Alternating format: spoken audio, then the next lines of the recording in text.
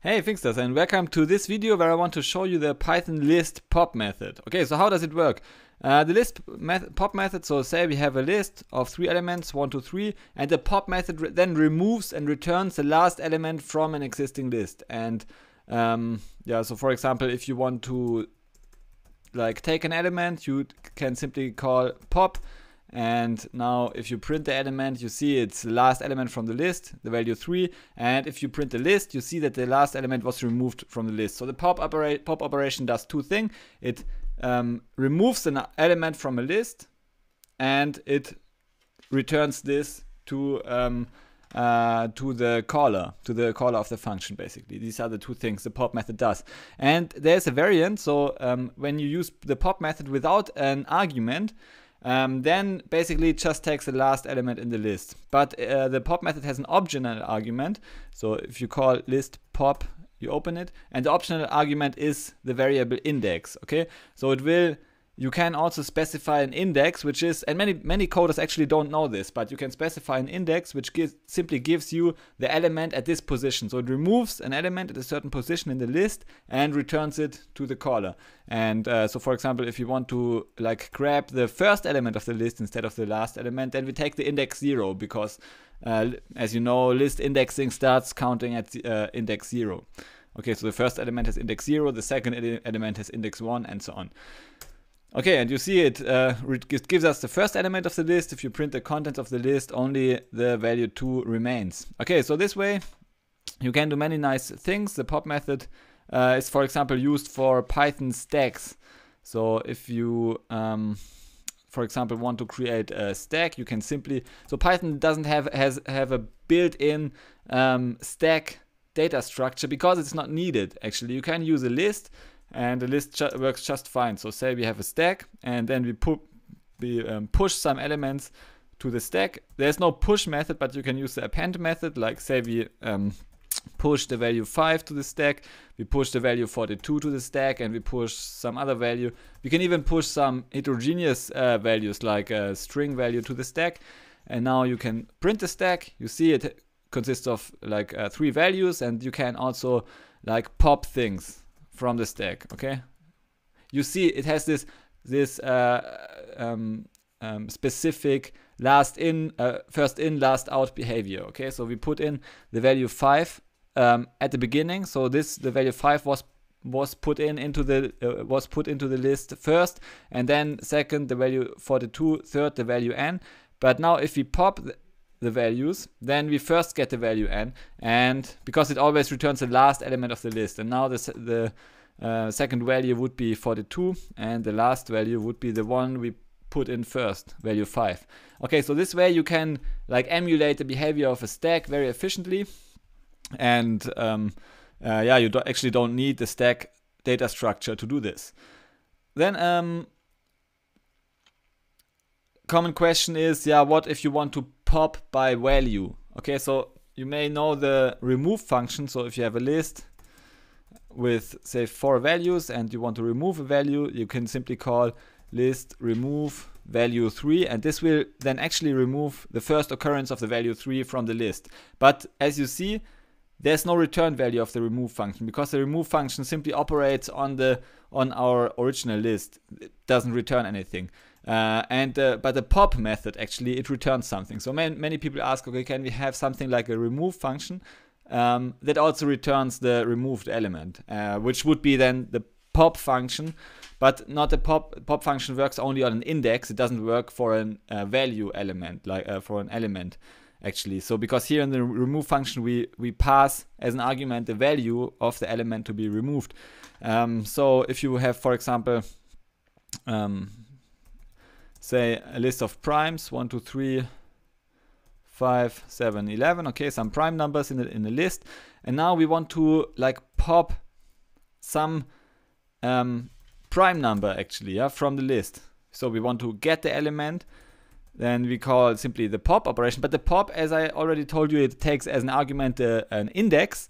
So we need to find the index of the element to be popped. And now say we have element uh, 7, we want to pop element 7. So we first need to determine the index of element 7 by calling the function primes.index7. Okay, this gives us the index of element 7, which should be uh, 0, 1, 2, 3, 4. So element 7 has index 4. Uh, so this whole function returns 4 basically, and then we call primes.pop 4.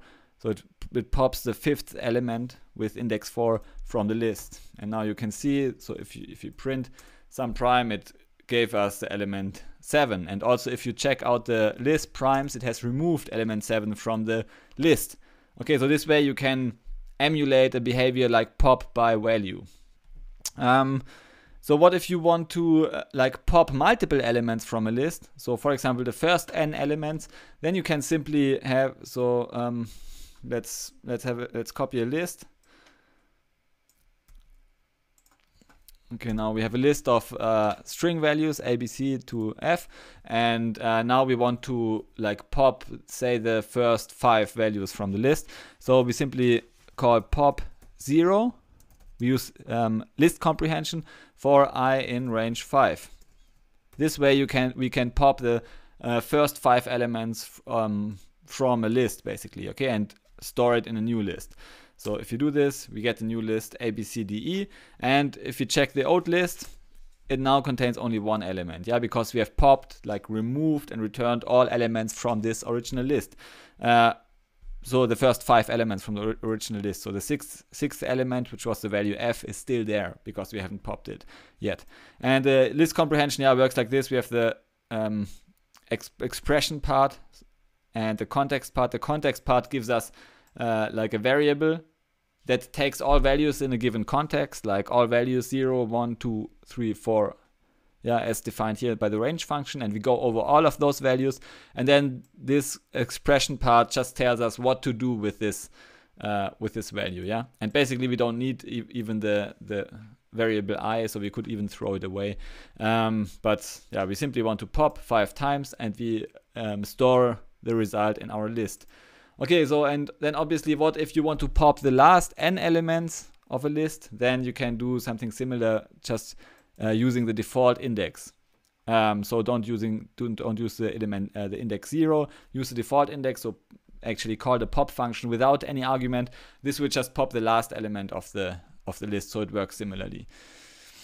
So then a good question is what is the time complexity of the pop operation? So let's have some. Let's look at some code um, to check the so the time complexity of the pop function is uh, constant so it's um, o0 basically uh, o1 so it's proportional it, it, takes a constant amount of time to pop an element from a list no matter how large the list is basically okay so why is this the case because um, internally er, um, lists are implemented with arrays in CPython. Okay, so CPython is the implementation of Python, and it works with array lists.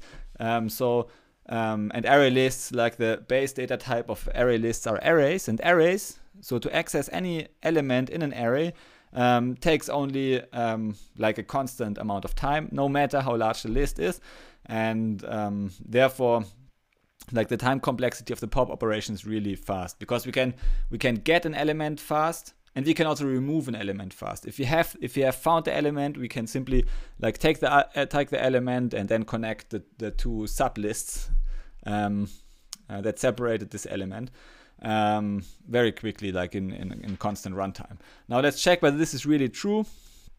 So we import. Uh, maybe I, I, I just give you the function. Works faster. So here I uh, first import the matplotlib library for plotting because we want to show, really show that it has linear runtime complexity and then we have a main loop. We iterate over um, all values like uh, all multiples of 100k like 100k, 500k, 600k, 700k, 800k and so on. And then we create a list. List of like that many elements. It's just a list from zero to the maximum number of elements. So we have, for example, here a list of one of 500,000 elements in the first loop iteration. In this, in the second loop iteration, we have a list of 600,000 ele elements. So very large lists basically. And then we start, we we track the time. So we take a timestamp here and here, and we measure the duration of the pop operation. Yeah. So if you pop the like the first element in in the list, how much time does it take? And then we plot everything. So let's execute this. and you see, okay, so there's some variation obviously, but you see with growing list size, we don't have generally growing um, time complexity. Okay, so here on the y-axis you see the elapsed time. On the x-axis you see the number of list elements. So usually if something has linear time complexity, you would expect a graph going from the um, upper left to the uh, upper right, uh, from the um, yeah, left uh, below yeah, um, to the upper right, basically. Yeah. Um, uh, lower left to the upper right, sorry. Uh, and this is not the case here. So we have more or less, with some variation, we have the constant time complexity. And um, even if we have like, let's close the plot so what happens if you don't pop the first element but the last element then it has also constant time complexity because we don't really care. You see the line is flat it has constant time complexity. So it doesn't really matter. Um, in all cases we have constant time complexity because um, array lists have constant access um, um, element access complexity. Okay so then um, what else? So can we, for example, okay, what are some alternative to the um, pop method? Um, there are some alternatives. So for example, if you just want to remove an element, so by value, not by index as the pop operation, then you can use the remove uh, method, which you have already seen, like you have a list.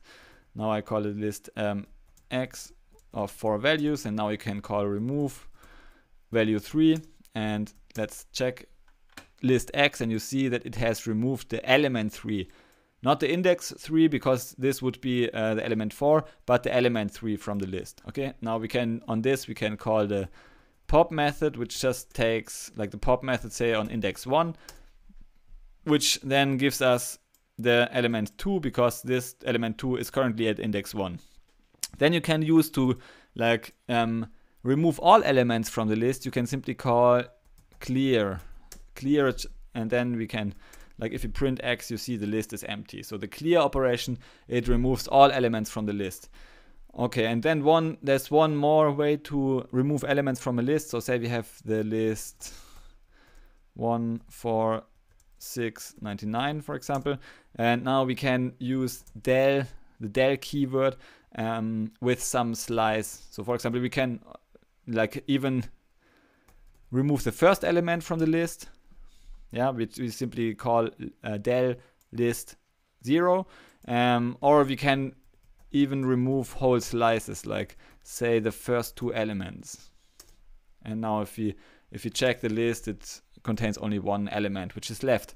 Okay, so these are the most important um, functions I have, uh, or actually uh, features I have found uh, regarding the pop operation. If you have any questions, then don't hesitate to ask. And uh, thanks for listening to this video. See you in the next video. Bye.